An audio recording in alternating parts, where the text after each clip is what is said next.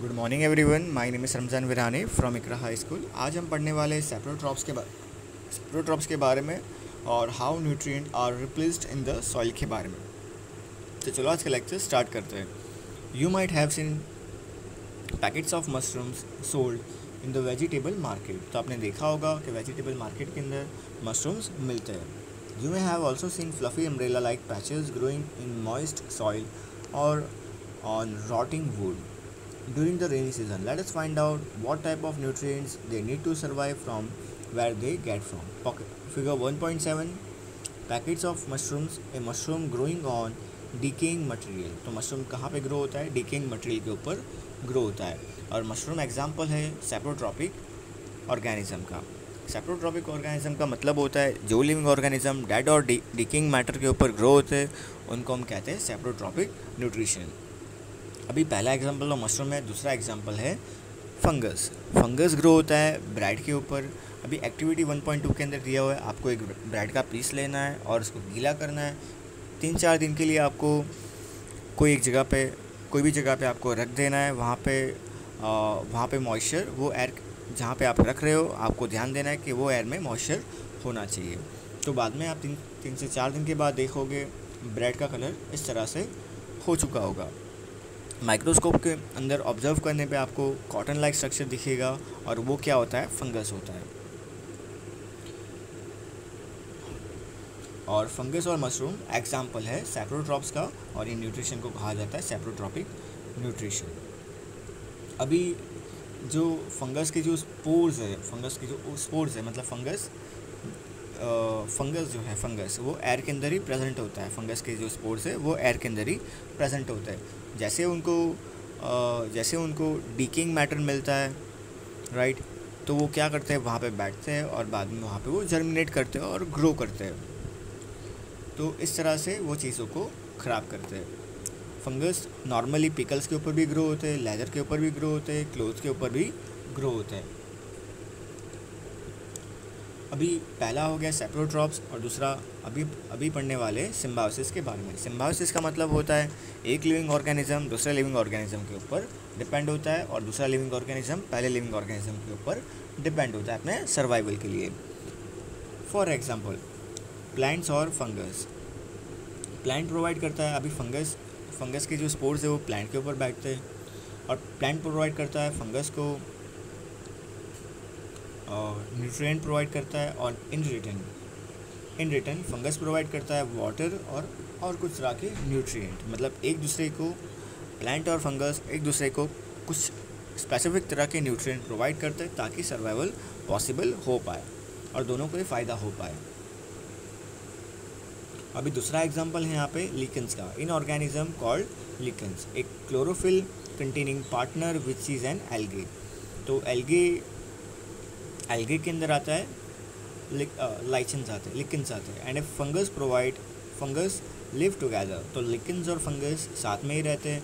तो fungus provide shelter fungus provide करता है एल्गे को provide shelter water and mineral to the algae in return algae क्या provide करता है? अभी एल्गे हम पता है वो फ़ूड बना सकता है. एल्गे के पास क्लोरोफिल होता है और वो क्लोरोफिल की मदद से वो फ़ूड बना सकता है. तो फंगस प्रोवाइड करता है, न्यूट्रिएंट प्रोवाइड करता है सेल्टर प्रोवाइड करता है और मिनरल्स प्रोवाइड करता है। तो इन रिटर्न फंगस क्या प्रोवाइड करता है? सॉरी, एल्गे एल्गे का, एल्गे प्रोवाइड करता है उसको। एल्गे खाना बनाता है और वो खाना उसको प्रोवाइड करता है मतलब न्यूट्रिएंट वो प्रोवाइड करता है, राइट? जैसे कार्बोहाइड्रेट स्टार्च, ये सारे तरह के वो न्यूट्रिएंट प्रोवाइड करता है फंगस को।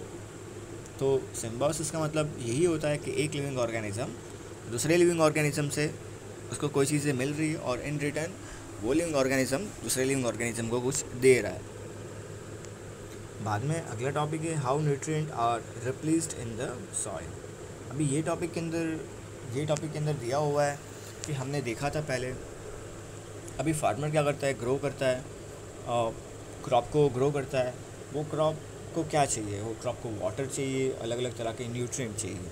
न्यूट्रिएंट जैसे कि नाइट्रोजन हो गया पोटाशियम हो गया फॉस्फोरस हो गया, ये सारे तरह के न्यूट्रिएंट चाहिए। अभी फार्मर ने क्या किया क्रॉप को ग्रो कर दिया वो लैंड के ऊपर। बाद में वो प्लांट्स ने ये सारे न्यूट्रिएंट को एब्जॉर्व कर दिया, जैसे फॉस्फोरस नाइट्रोजन अभी क्या हो गया, अभी वो सॉइल के अंदर नाइट्रोजन और फॉस्फोरस की क्वांटिटी बहुत कम है। न्यूट्रिएंट्स की बहुत ही बहुत ही कमी है वो लैंड के अंदर। अभी फिर से फार्मर ग्रो करेगा तो न्यूट्रिएंट अवेलेबल नहीं है, ताकि वो प्लांट ग्रो हो पाए। पहली बार में, पहली बार हमने जब ग्रो किया था, वो लैंड के ऊपर क्रॉप्स को तो क्रॉप ने सारा का सारा न्यूट्रिएंट और सारा का सारा न्यूट्रिएंट जैसे पोटेशियम फास्फोरस ये सारी चीज़ें, ये सारी चीज़ों को एब्जॉर्ब कर लिया था। अभी दूसरी बार जब हमने ग्रो किया, दूसरे सीज़न के अंदर, और अलग अलग तरह के क्रॉप्स को तो बाद में, वो सॉइल के अंदर न्यूट्रिशन नहीं था न्यूट्रिएंट्स नहीं था। तो इसलिए फार्मर क्या करता है? जैसे ही पहले क्रॉप को ग्रो करता है, उसके बाद हार्वेस्टिंग के बाद दूसरे क्रॉप को ग्रो करने के पहले वो सॉइल के अंदर सॉइल के अंदर मैनुअर और फर्टिलाइज़र को ऐड कर देता है। मैनुअर और फर्टिलाइज़र का काम ये होता है मैनुअर फर्टिलाइज़र के अंदर न्यूट्रिएंट होता है। मैनुअर बनता है नेचुरली और फर्टिलाइज़र बनता है इंडस्ट्री से बनता है। राइट और इसके अंदर न्यूट्रिएंट्स होते हैं, जैसे फॉस्फोरस पोटेशियम ये सारे न्यूट्रिएंट्स होते हैं।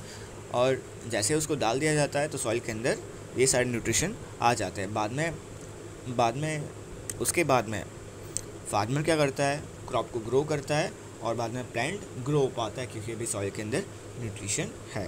तो इस तरह से दिया हुआ है। How nutrient are replace in the soil तो किस तरह से?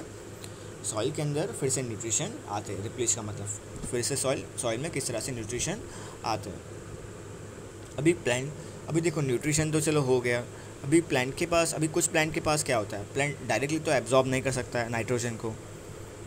नाइट्रोजन एबेंडेंट क्वांटिटी में प्रेजेंट है हमारे एयर के अंदर। नाइट्रोजन प्लांट डायरेक्ट नाइट्रोजन को एब्जॉर्ब नहीं कर सकता है। तो इसीलिए क्या होता है? अभी कुछ प्लांट्स के अंदर, कुछ प्लांट्स के अंदर नाइट्रोजन को एब्जॉर्व करने के लिए अलग अलग तरह के मैकेनिज़्म होते हैं। तो कुछ प्लांट्स के अंदर कुछ प्लांट्स के अंदर क्या होता है, जैसे एक लिग्यूमिनस नाम का प्लांट है। उसके पास रूट से और रूट्स के अंदर रूट्स के अंदर ऐसा स्ट्रक्चर है। रूट्स के अंदर कुछ इस तरह का स्ट्रक्चर है। रूट्स है और रूट्स के अंदर कुछ इस तरह का स्ट्रक्चर है। ये स्ट्रक्चर को हम कहते हैं रूट नॉड्यूल और रूट नॉड्यूल के अंदर राइजोबियम नाम का बैक्टीरिया होता है, जो कि नाइट्रोजन को राइट रूट के अंदर जैसे ही नाइट्रोजन आता है, नाइट्रोजन एक गैस फॉर्म के, गैस के फॉर्म के अंदर होता है राइट तो नाइट्रोजन को राइजोबियम नाम का जो बैक्टीरिया है, वो नाइट्रोजन को नाइट्रेट्स और नाइट्राइट्स में कन्वर्ट करता है और बाद में प्लांट नाइट्रेट्स और नाइट्राइट्स के फॉर्म फॉर्म में जो कन्वर्ट हुआ है नाइट्रोजन, उसको एब्जॉर्व करता है और नाइट्रेट और नाइट्राइट के फॉर्म में न्यूट्रिशन की तरह इनटेक करता है। तो इस तरह से, इस तरह से प्लांट इस तरह से प्लांट नाइट्रोजन को कन्वर्ट कर रहा है यहाँ पे नाइट्रेट और नाइट्राइट के फॉर्म में, बाद में वो उसको खाने की तरह ले पा रहा है। तो यहाँ पे ये दो तरह के टॉपिक दिए हुए पहला तो ये दिया हुआ था कि फर्टिलाइज़र और मैनवर के बारे में, कि किस तरह से फार्मर सॉइल में फिर से किस तरह से डालता है फर्टिलाइज़र मैनवर ताकि वो दूसरी बार वो प्लांट को ग्रो पर ग्रो कर पाए। वापस ख़त्म हो गया तो तीसरी बार डालेगा वही ज़मीन के अंदर।